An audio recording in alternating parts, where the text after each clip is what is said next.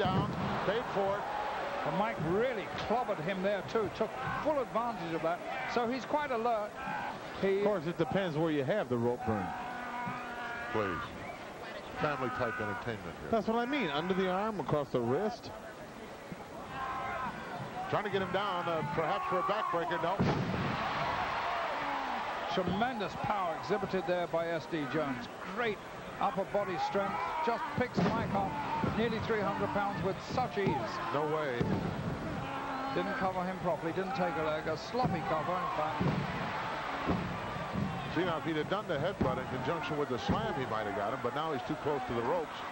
Brought foot right out of there. That is always a risky move. I don't like that. If the referee doesn't lift his head, you're counted out, and there's nothing you can do about it. Another reversal this time by Iron Mike. Ducks underneath a big roundhouse right. Did not duck underneath that one. Mike showing a lot of speed here. Hooks the leg. Got a little leverage here. He got him! He got him! What a fantastic... It's not, an, it's not an upset. Mike Sharpe has out-wrestled the man. Sound like you uh, had some money on this match or something. No, I'm just, I, I'm just glad to see SD bite the dust. You're glad to see SD bite the dust.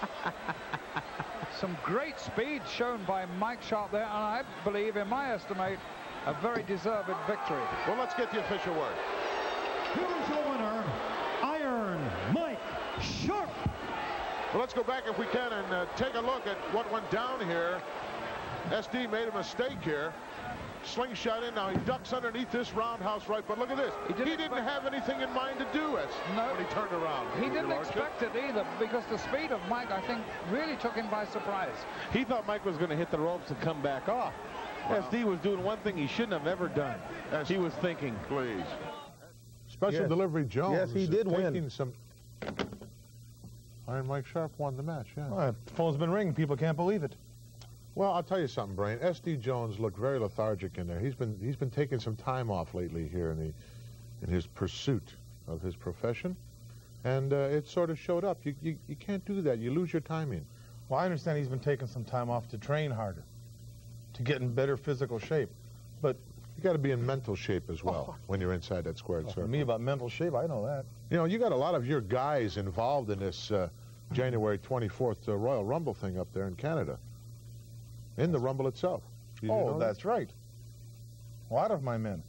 Well, is there some kind of certain strategy that you're trying to instill in them? Because this is a unique type match. Okay, I'll tell you what it is. I'm not going to send my men in there and let them throw somebody out. Let everybody eliminate everybody else. When there's a couple people left, then we'll get rid of them. Lovely. We'll be back with our feature, Bam